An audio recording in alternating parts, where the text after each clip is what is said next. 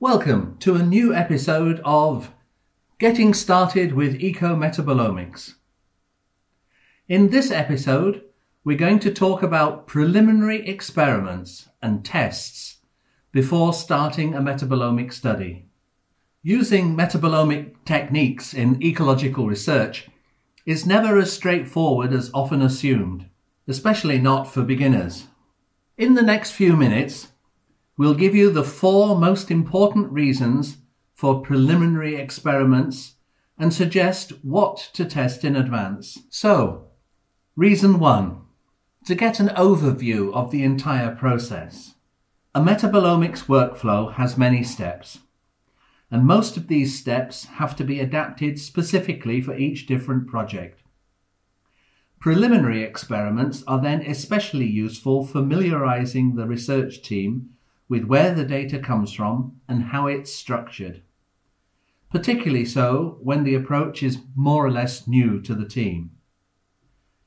Therefore, a preliminary experiment is a good opportunity to build relationships between the members of the research team, estimate how long each step of the research will take, make clear which methods are available and what parameters need to be optimized and adapted, clarify what software is needed, and estimate the costs of consumables, chemicals, instrument fees, and software.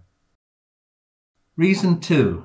Learning the practicalities of the metabolomic workflow. The more practice you get, the better the quality of the data you produce. Every step of a new workflow involves uncertainty and is prone to errors. All of its steps influence its outcome, every one of the steps from the original treatment procedure to the efficiency of grinding the plant tissue. A preliminary experiment gives you the opportunity to get to know the different techniques, methods, and data analyses you'll need. The experience gained will save you time, resources, and money when you come to do your main experiment. Reason 3. Preliminary experiments gives you an opportunity to work out what you expect from the metabolomic data and to clarify how this approach fits in with your scientific question. In some cases, you might, in a preliminary experiment, be able to analyze some samples by mass spectrometry. The resulting datasets are perfectly suited to help you get used to the data structure. In addition, they help you to understand how you might use the metabolomic data to test your hypotheses. Reason 4. Preliminary experiments let you test the effect of your workflow on the variability of the data. For clear answers to our biological question, we want clear statistical effects of our treatments on the organisms we're testing. In the example here, we want to know if the larva feeding on the roots changes the metabolites produced by the leaves. We want the effect of the root feeding treatment to be clear and not hidden by variance. Variability in process may well increase troublesome variance. But there are several factors that cause variability in metabolomic data. There's biological variability. This arises from the genetic background of the plant, from its location and the growing conditions, and from feeding behavior of the larvae. But there's also technical variability. This arises from the work process itself due to inconsistent sampling or varying conditions of drying, grinding, and sample extraction.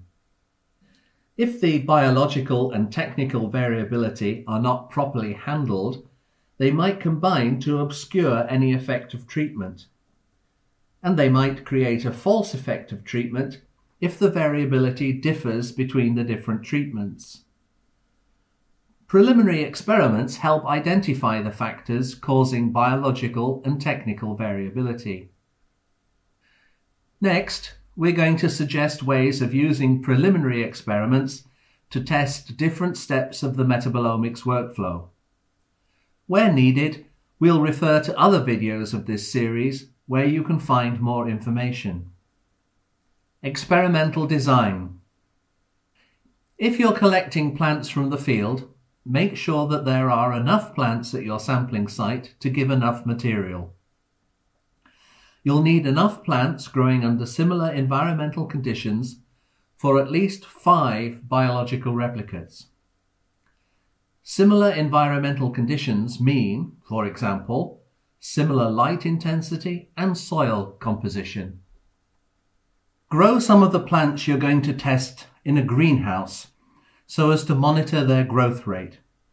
You can then detect the optimal time for applying the treatment and for sampling the plants. Or, for the same reasons, you could frequently visit your sampling site. Pay special attention to the amount of biomass. Make sure you'll be able to obtain enough sample material for all the tests you're planning. About 100 milligrams of fresh material, equivalent to 20 milligrams of freeze dried, is needed for a metabolomic extraction. Test the treatment method in advance. Will the treatment have the same strength for all plants and take place at the same time and same position? Please remember that the metabolome can change dramatically within minutes or even seconds in response to an external stimulus. Time your sampling procedure. In metabolomics research, you'll need to treat and sample dozens or even hundreds of plants. It's important to know how long these steps take for each plant so as to make sure treatment and sampling occur as simultaneously as possible. If there's a long delay, conditions will differ between the plants handled early and those handled late, and this will increase variability. Timing your procedures in a preliminary experiment will lead to better and more realistic planning. Test your sample processing. You need to find out what the technical variability is and how robust your methods of sample processing are. To do this, we recommend processing several samples of material in a preliminary experiment. This will help answer the following questions. Are the drying conditions enough to ensure the samples are water-free? Does your grinding method produce homogeneous and finely ground material? And is your extraction method equally affected for all samples?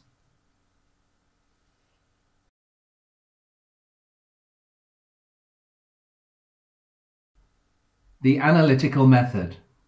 This part of the workflow can easily be tested by injecting one of your samples onto the analytic instrument you've chosen to use.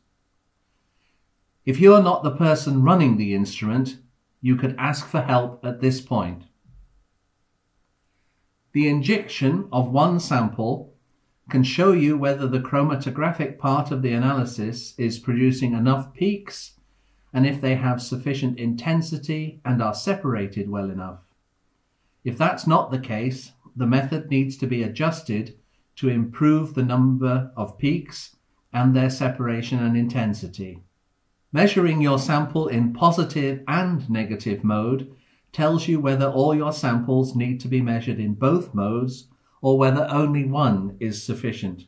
Furthermore, the injection of the same sample multiple times in the instrument can give you information about the instrumental variance in retention time and peak intensity. If you plan to do MS-MS with your samples, you can also test whether the parameters for fragmentation fit your approach or need to be adjusted. Data analysis. An advanced use of a preliminary experiment is to use the preliminary data it produces to test the analytical pipeline. If you're not familiar with this pipeline, get help from somebody who is. For this data analysis, there are many different programs. They include open source software like XCMS and MS Dial. and they include vendor specific software from the companies that sell the instruments. Which is used depends on the operator. Processing data from your own preliminary experiments helps you learn with the details of the data analysis software and the effect of different processing parameters. Depending on how you did your preliminary experiment, you may even be able to try out some statistical analyses with this data. Annotation Most metabolomic experiments aim for at least partial annotation of the metabolites detected. This is usually the bottleneck in metabolomics research. If preliminary data are available, we highly recommend testing the available annotation pipeline as well. It is also worth searching the literature for published metabolites in the plant of interest. This prior knowledge might even help identify the standard compounds you might need. You can then look for them in your lab or order them.